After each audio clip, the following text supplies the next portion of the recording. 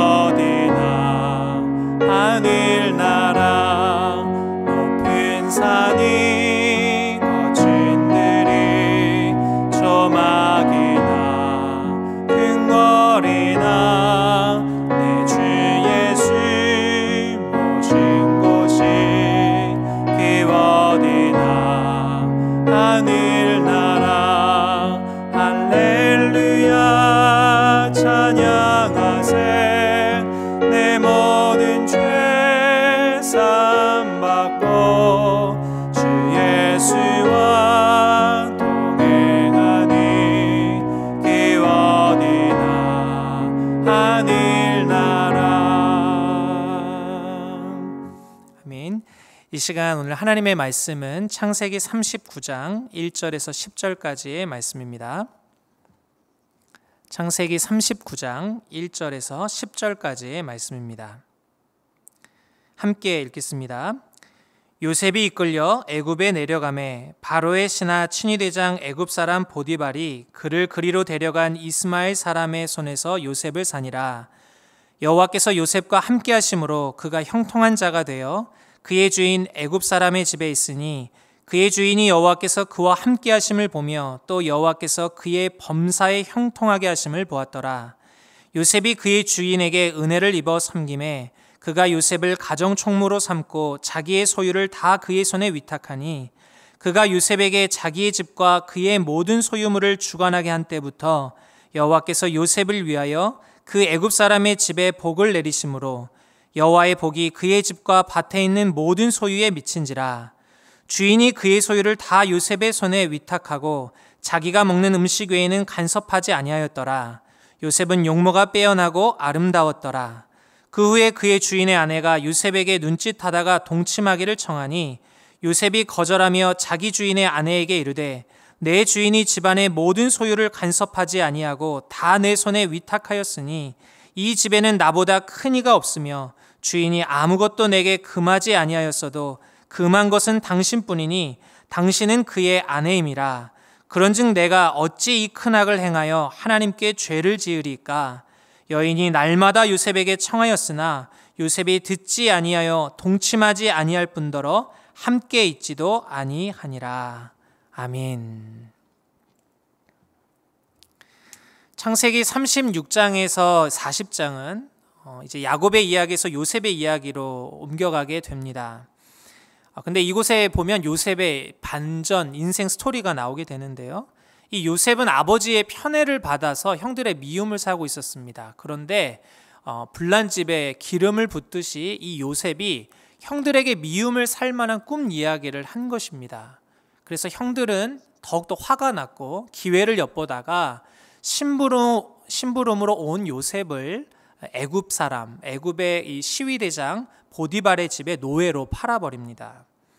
그래서 이 이어지는 이야기를 보면 이 요셉에게 있어서 슬픔이 가득한 노예 생활이 이랬더라라는 것이 자연스러울 텐데요. 전혀 다른 이야기가 펼쳐집니다. 창세기 39장 2절 말씀 여호와께서 요셉과 함께 하심으로 그가 형통한 자가 되어 그의 주인 애굽 사람의 집에 있으니 이 요셉이 형통한 자가 되었다. 이 세번역 성경으로 보면 앞길이 잘 열렸다. 현대인의 성경으로는 모든 일을 성공적으로 수행해 나갔다. 이렇게 기록하고 있습니다. 완전 반전의 삶이 요셉에게 펼쳐진 것입니다. 얼마나 일이 잘 풀렸는지 요셉의 주인도 알아볼 정도였습니다. 성경은 이걸 이렇게 기록하고 있습니다. 39장 3절. 그의 주인이 여호와께서 그와 함께 하심을 보며 또 여호와께서 그의 범사에 형통하게 하심을 보았더라. 이렇게 일이 잘 돼? 이 정도로 잘 풀려? 흔히들 사람들은 어, 운이 정말 좋다 이렇게 말할 법한데요. 그런데 요셉의 삶을 보니까 너무너무 좋은 일들이 계속되는 거죠. 이런 일이 잘 풀려가는 겁니다. 그래서 이 요셉의 주인이 이것을 보고 야, 요셉이 믿는 신이 도와준 것이구나. 이 생각하게 만들었다는 것입니다. 그렇다면 요셉이 이토록 형통할 수 있었던 그 이유가 무엇일까요? 성경은 이것을 어, 이렇게 기록합니다. 39장 2절. 여호와께서 요셉과 함께 하심으로 그가 형통한 자가 되어 그의 주인 애굽 사람의 집에 있으니 여호와께서 요셉과 함께 하심으로 하나님께서 요셉과 함께 하셨다. 이것이 바로 형통의 이유였습니다. 그래서 우리가 어떤 일이 잘 풀리고 일이 잘 된다 라고 하는 것 이것을 볼 때 어떤 상황적인 이유보다도 더 중요한 것은 누구를 만나고 누구와 함께 하느냐가 중요하다는 것입니다. 비록 노예 생활이라 할지라도 요셉이 하나님과 함께 했을 때 그의 삶이 형통하였다. 누구를 만나고 누구와 함께 하느냐가 중요합니다. 우리가 좋은 만남을 위해서 기도하는 이유도 바로 이 때문이죠. 그래서 아무리 이름 있는 학교를 가거나 사람들이 가고 싶어 하는 직장을 간다 하더라도 그곳 안에서 사람과의 관계가 틀어지거나 어려워지면 너무 힘듭니다. 상처받고 꼭 지옥 같습니다. 심지어는 그게 너무나 견디기가 힘들어서 퇴사를 하는 이런 사람들의 경우도 있죠. 그래서 우리는 기도합니다. 이 좋은 만남을 위해서 기도하죠. 하나님, 우리 자녀들이 학교에서 좋은 선생님과 좋은 친구들을 만나게 해주십시오. 직장을 위해서 우리 기도할 때 하나님 우리가 이 직장을 가게 되는데 좋은 동료들과 또 좋은 이런 리더들을 만나게 해주십시오. 이렇게 기도하게 되죠. 심지어 결혼할 때도 우리가 배우자를 놓고 많이 기도하잖아요. 바로 이러한 이유는 이토록 만남이 중요하고 누구와 함께 하느냐가 중요하기 때문입니다. 2022년 이 가정마다 우리 자녀들에게 좋은 만남을 허락해 주시기를 기도합니다. 그리고 우리 한 사람 한 사람 우리 성도님들 올 한 해 이러한 좋은 만남들이 있기를 축복합니다. 좋은 영향력을 받을 수 있는 만남 그리고 은혜와 긍휼을 얻을 수 있는 이런 복된 만남이 2022년 가운데 풍성하게 아주 가득하게 아, 일어나시기를 바랍니다. 요셉은 요셉의 이야기로 돌아가서요. 요셉은 자신의 이 형통함이 하나님 때문에 온 것임을 분명히 알았습니다. 하나님과 함께하는 것이 얼마나 소중한 것인지를 요셉은 알고 있었던 것 같습니다. 왜냐하면 자기가 모시고 있는 이 시위대장의 아내가 유혹했을 때 아주 단호히 거절을 하거든요. 그런데 그 거절의 이유에서 바로 그러한 이유를 발견할 수 있게 됩니다. 현대인의 성경으로 창세기 39장 9절에서 10절은 이렇게 기록되어 있습니다. 이 집에는 나만한 권한을 가진 사람이 없습니다. 주인은 나에게 아무것도 금하지 않았지만 당신만은 금하셨습니다. 이것은 당신이 그의 아내이기 때문입니다. 그런데 내가 어떻게 감히 이런 악한 짓을 하여 하나님께 범죄할 수 있겠습니까? 그런데 내가 어떻게 감히 이런 악한 짓을 하여 하나님께 범죄할 수 있겠습니까? 10절 그녀는 날마다 요셉에게 치근거렸지만 요셉은 거절하며 그녀와 잠자리를 같이 하지도 않고 그녀와 함께 있지도 않았다. 성경은 날마다 이 유혹이 날마다 치근거렸다고 말합니다. 그런데 요셉은 단호히 거절했습니다. 같이 하지도 않았습니다. 함께 있지도 않았습니다.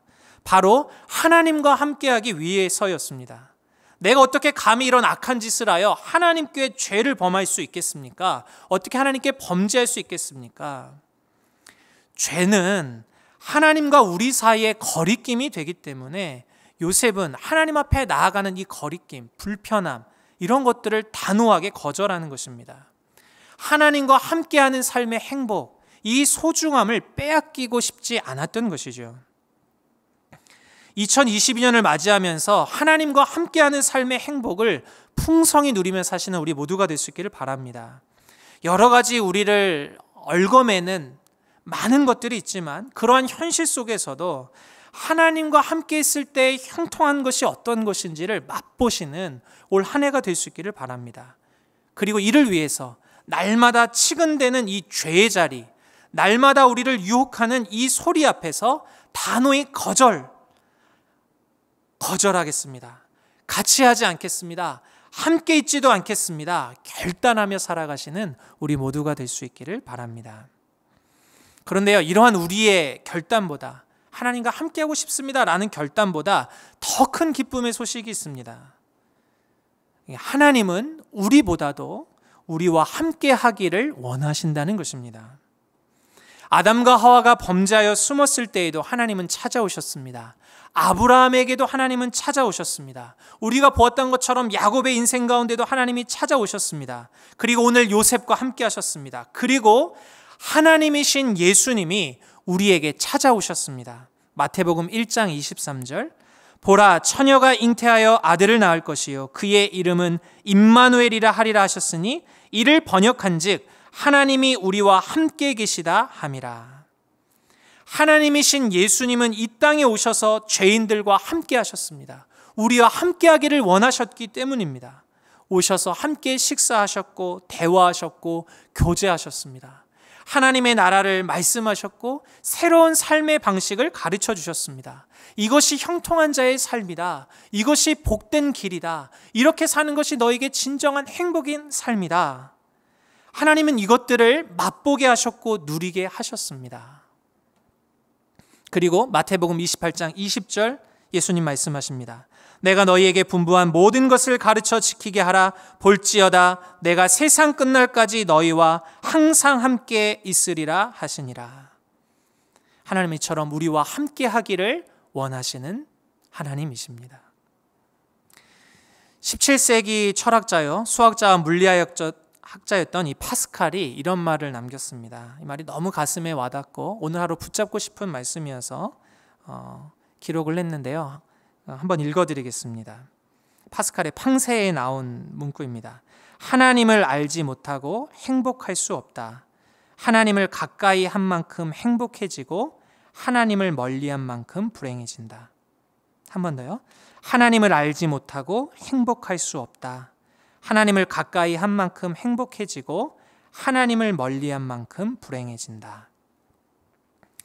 하나님은 우리와 함께 하기를 원하십니다. 하나님은 우리가 행복한 삶을 살아가기를 원하십니다. 2022년 날마다 치근대는 유혹의 소리에는 no, 하나님께는 yes 말하면서 하나님과 함께 동행하는 이 행복을 빼앗기지 않는 저와 여러분들 되시기를 축복합니다.